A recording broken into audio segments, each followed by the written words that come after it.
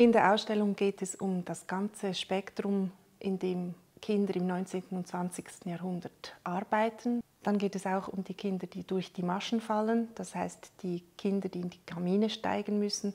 Es geht um die Schwabenkinder und letztlich um die Betroffenen von fürsorgerischen Zwangsmaßnahmen.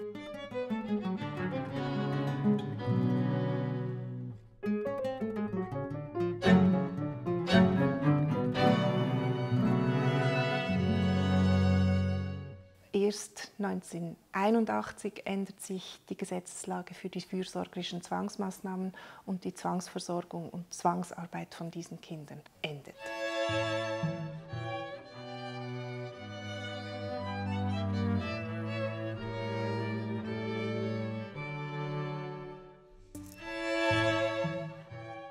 In der Textilindustrie ist die Mithilfe von Kindern besonders verbreitet weil es zum Einfädeln der Nadeln feingliedrige Hände braucht und gute Augen, um das Nadelöhr überhaupt zu sehen. Und eine dieser Tätigkeiten ist das Einfädeln der Nadeln. Das sind also Fädlikinder.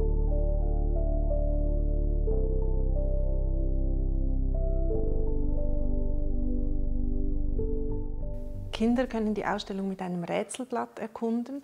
Es gibt verschiedene Rätsel zu lösen und dann gibt es eine Duftspur. Das heißt, sie gehen ihrer Nase nach durch die Ausstellung. Und für die Erwachsenen, die können ihre Geschichten zur Arbeit aufnehmen. Geschichten, die sie erlebt haben als Kind oder vielleicht auch Dinge, die sie von ihren Eltern gehört haben, wie die über die Arbeit als Kind berichtet haben.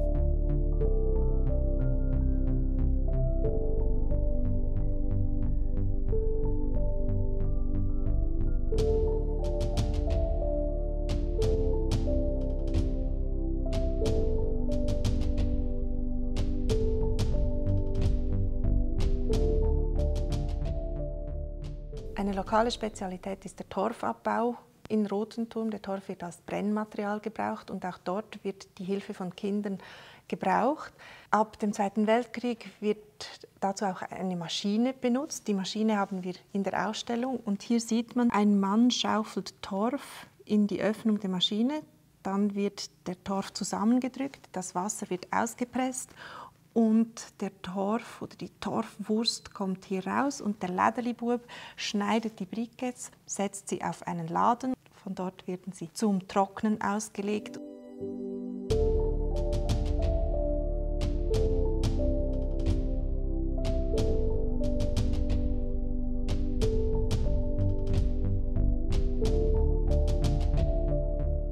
In der Ausstellung zeigen wir ein Bild von Christian Channen. Er hat Jahrgang 1971 und als seine Eltern sich scheiden ließen, wurden er und sein Bruder der Mutter weggenommen und auf einem Bauernhof platziert als Verdienkinder.